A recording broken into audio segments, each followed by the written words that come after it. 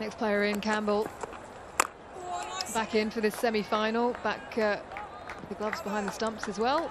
Much to uh, Heather Knight's delight. captains in the tornado side. All the way. It's, it wasn't in the gap, but it's gone through the legs, and that is four.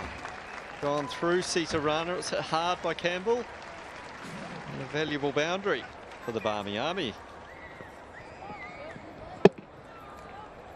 Swatted with disdain, Shemaine Campbelle. Their Barmy Army side to a very good total. And they've talked her up. It's a lovely shot. That's huge. It's one of the biggest we've seen. All the way into the stands. What a shot. Picked up beautifully by Shemaine Campbelle, shuffled only marginally, and off it went over the deep mid-wicket fence for a six. Good acceleration underway from the West Indies batter here. Heather Knight is delighted, and so she should be. Campbelle looking to open up, and she has that six more. Great striking from Campbelle. She's decided to pull the trigger now, and her and her partner are absolutely loving it. She had been saving all the firepower all these days, watching the Tornadoes in action from the sidelines.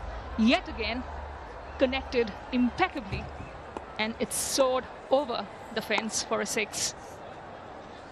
Red Dunaiva you'd expect. Oh, it's tucked in again off the seam. Campbelle's going to get away with it, and she's going to earn herself four runs. Another great bit of bowling. Man. Off the seam. Great bit of bowling.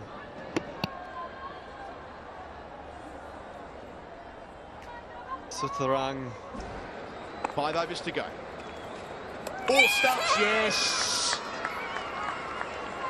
Katie Martin isn't missing that. Sita Rana Magar, who's been such an impressive contributor throughout the competition, gets herself in the book.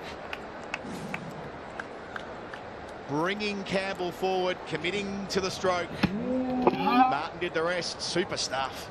You could just see that little moment of panic there from Shemaine Campbelle. She knew that she'd been done by the bowling and she gets the march out and the salute.